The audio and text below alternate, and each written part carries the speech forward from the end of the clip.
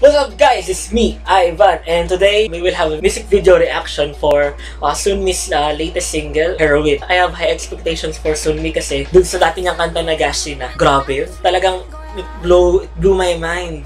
Grabe. So, ano pa hinihintay natin? Play mga intro. Would you kiss me? Hey. Would you kiss me?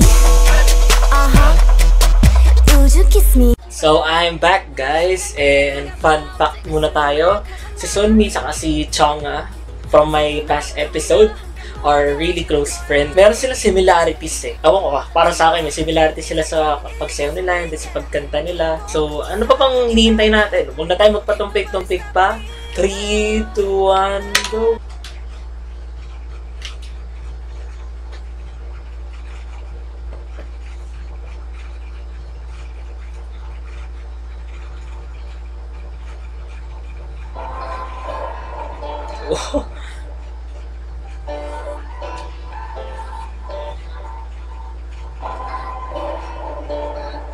Yeah.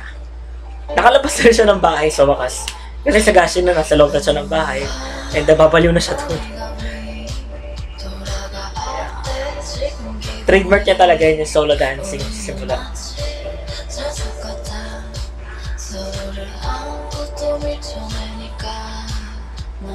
날 미치게 하고 정신 못 차리게 해 그래 알겠지 넌참 날 기가 막히게 해 Grabe. 날 춤추게 May garahe pala siya.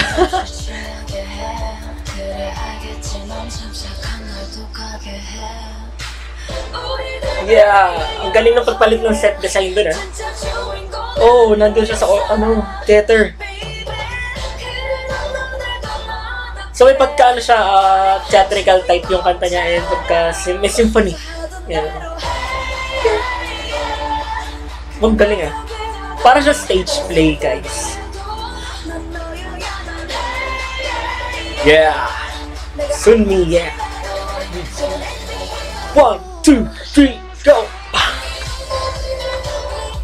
Yeah. May drop, may drop, may drop, may drop.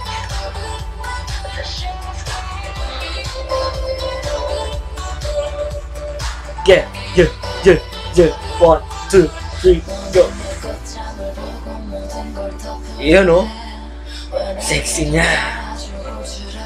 Yeah. Swag.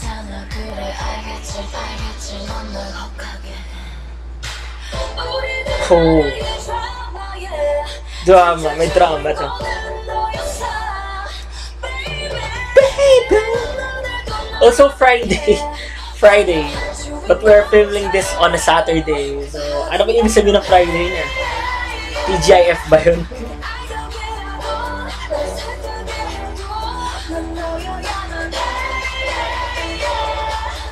Oh, ayan na, ayan na, ayan na. May drop na ulit. One, two, three,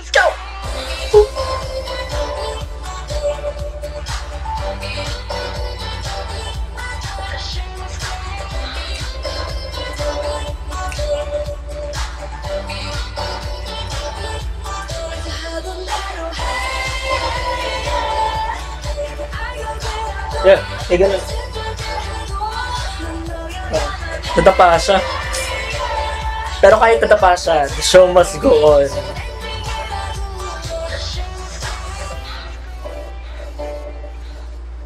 Talagang mahilig siya sa mga gun. Sa Gashi na ginawa niya rin yun eh.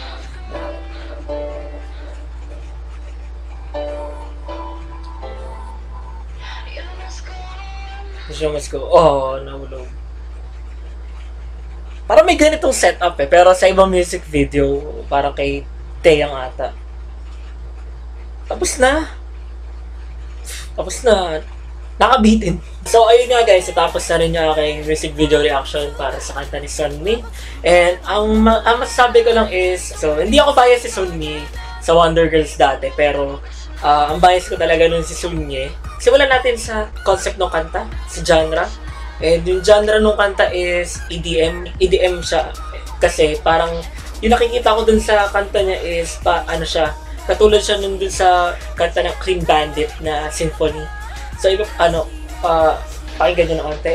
I just wanna be part of your symphony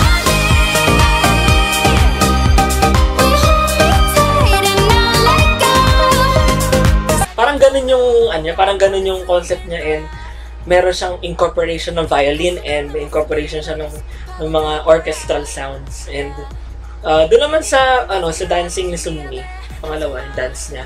As always naman, magaling talaga si Sunmi sa pagsayaw. And then yung next na, na sabihin ko eh, yung doon naman sa video, music video niya. And sa tingin ko yung music video is all about, kasi parang katuloy siya ng Gashi na sa tingin ko ah. Kasi sa Gashi na, nandun siya sa bahay. Then lumabas siya ng bahay. Yung mga trans, yung mga ano, mga sequence ng video niya is parang papunta siya sa isang theatrical play na sumasayaw siya doon. And kaso, doon sa theater, walang nanonood. Puro sa tingin ko, yung may the show must go on na part, eh, ang ibig sabihin nun is, kahit anong mangyari, kahit walang manood sa iyo, the show must go on. Professionalism at, at its finest ba? Kumbaga. Don't forget to subscribe and to click the bell below, below, below, below, below. Abangan nyo yung mga music video reactions ko sa mga susunod. Anticipate yung reaction ka sa Promise, sa Gogodan, sa Ujo Sonyo. So, I'm really excited on that. And uh, sa 11th member ng Luna na si Gowon, please anticipate on that. And kung may suggestions kayo or kung gusto niyo pa i- mag-react ako ng ibang music video, uh, sabihin nyo lang sa comments down below. Pabasahin ko yun. That's it. This is Ivan and I'm now signing out. Peace. Peace.